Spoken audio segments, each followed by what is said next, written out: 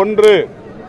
இந்து குழுமத்தின் சார்பில் இந்த சாலையை கார்ஃபி ஜோன் என்கின்ற வகையில் எதிர்வரும் எட்டு வாரங்களுக்கு அறிவிக்கிற ஒரு நிகழ்வு தொடர்ந்திருக்கிறது.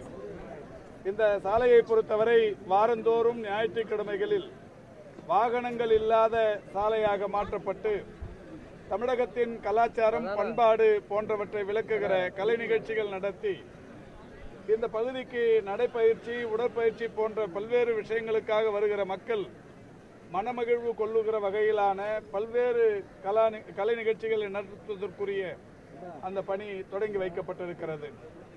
அதேபோல் இன்னொரு மிக சிறப்பான சிறப்பான நிகழ்வாக ராஜன் ஐகேர் நிறுவனமும் ரோட்டரி சங்கமும் ஒருங்கிணைந்து கண்தானம் பற்றிய விழிப்புணர்வை பொதுமக்களிடத்தில் ஏற்படுத்துகிற வகையில் ஒரு நடைப்பயிற்சியை இங்கே தொடங்குகிறார்கள். இதில் நூற்றுக்கணக்கானவர்கள் இந்த பங்கேற்று கண்தானம் பற்றிய விழிப்புணர்வை ஏற்படுத்தவிருக்கிறார்கள்.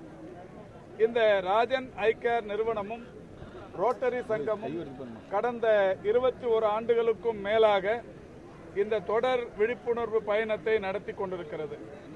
இருபத்தி இரண்டாவது ஆண்டாக நடைபெற்றுக் கொண்டிருக்கிற இந்த பயணத்தை தொடங்கி வைக்கிற வாய்ப்பு எனக்கு கிடைத்திருக்கிறது.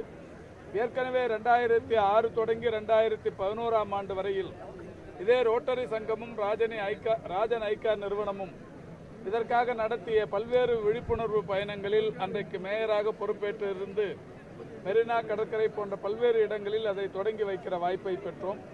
இன்றைக்கு மீண்டும் இருபத்தி ரெண்டு ஆண்டுகளுக்கு பிறகு இந்த பயணத்தை தொடங்கி வைக்கிற அந்த நிகழ்வு என்பது நடைபெற்றுக் கொண்டிருக்கிறது. தமிழகத்தை பொறுத்தவரை உறுப்பு மாற்று சிகிச்சைகள் உறுப்பு தானம் என்பவைகளில் தமிழ்நாடு தொடர்ந்து முதலிடத்தில் இருந்து கொண்டிருக்கிறது. உறுப்பு மாற்ற ஆணையம் ஒன்று இரண்டாயிரத்தி எட்டாம் ஆண்டு முத்தமிழறிஞர் கலைஞர்களால் உருவாக்கப்பட்டது. அப்பொழுது உருவாக்கப்பட்ட போது இந்தியா முழுமைக்கும் அந்த நிகழ்வை ஒரு மிக சிறப்பான வகையில் எல்லோருமே பார்த்தார்கள். அதற்கு காரணம் திருக்கழுகுண்டத்தைச் சேர்ந்த இத்தேந்திரன் என்கின்ற ஒரு பதினைந்து வயது மாணவன் இருசக்கர வாகனத்தில் விபத்தொன்றில் சிக்கி மரணம் அடைந்த போது அவருடைய பெற்றோர் மூளைச்சாவு அடைந்த அந்த மாணவனின் உறுப்புகளை உடல் உறுப்புகளை தானம் செய்தார்கள். அப்படி தானம் செய்ததன் விளைவு அன்றைக்கு ஒரு ஐந்து ஆறு உயிர்கள் காப்பாற்றப்பட்டது. அந்த ஒரு மாணவனின் இறப்பு மூலம் கிடைத்த பல்வேறு உயிர்கள் அந்த என்பது ஒரு பெரிய அளவிலான விழிப்புணர்வை பெற்றது. அதிலிருந்து தொடர்ந்து தமிழகம் இன்றைக்கு உறுப்பு தானத்திலும் உறுப்பு மாற்று அறுவை சிகிச்சையிலும் முன்னிலையில் இருந்து கொண்டிருக்கிறது. இன்றைக்கு கண்தானம் என்பது தானத்திலே சிறந்த ஒன்று என்கின்ற வகையிலான விழிப்புணர்வு மக்களிடத்தில் ஏற்பட வேண்டும் என்கின்ற வகையில் உடல் உறுப்புகள் அத்தனையுமே தானம் செய்யப்படுகிற ஒரு சூழல் இன்றைக்கு உலகில் உருவாகி இருக்கிறது இதயமா இதயம் நுரையீரல் கல்லீரல் கணையம் போன்ற பல்வேறு உடல் உறுப்புகள் தோல் எலும்பு மஜ்ஜை போன்ற பல்வேறு திசுக்கள் இப்படி இந்த உடல் உறுப்பு தானத்திற்கு தொடர்ச்சியாக பயன்பட்டுக் கொண்டிருக்கிறது. அதனால் ஏராளமான பேர் லட்சக்கணக்கானவர்கள் தொடர்ச்சியாக பயன்பெற்றும் கொண்டிருக்கிறார்கள். உடல் உறுப்புகளிலேயே அதிகம் பயன்பெறுவது மிக சிறந்த பயன்பாட்டுக்குரியது. கண்தானம் அந்த கண்தானத்தை வலியுறுத்தி கண்தானத்தை இங்கே ஒரு மிக சிறப்பான விழிப்பாக விழிப்புணர்வாக ஏற்படுத்துகிற வகையில் இந்த பயணம் நடைபெற்றுக் கொண்டிருக்கிறது. இதை தொடங்கி வைக்கிற போது நானும் எனது கண்களை தானம் செய்வேன் என்கின்ற அந்த உறுதிமொழிக்கான பத்திரத்தில் கையெழுத்து போட்டுவிட்டு தான் இதை தொடங்கி இருக்கிறேன் நீங்களும் கண்தானம் செய்ய வேண்டும்.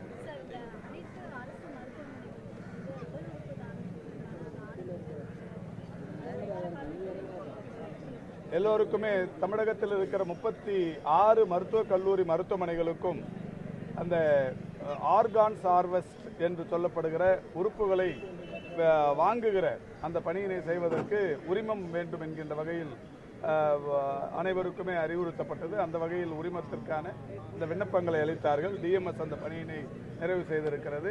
திங்கள் அல்லது செவ்வாய் அனைத்து மருத்துவமனைகளுக்கும் அந்த ஆர்கான் ஹார்வெஸ்டுக்கான அந்த உரிமம் அனைத்து அரசு மருத்துவக் கல்லூரி மருத்துவமனைகளுக்கும் கிடைக்கவிருக்கிறது. இதன் மூலம் தமிழகத்தின் எல்லா மாவட்டங்களிலும் மூளைச்சாவு அடைபவர்களிடத்திலிருந்து உடல் உறுப்புகளை எளிதாக பெற முடியும்.